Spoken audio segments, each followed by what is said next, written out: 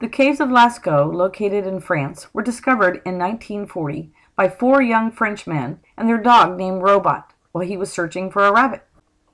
Robot jumped into a hole and the boys chased after.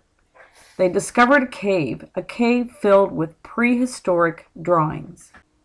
The boys would soon find out that this cave contained paintings made by cavemen, Paleolithic men that made paintings describing some great hunts and animals that they needed for survival.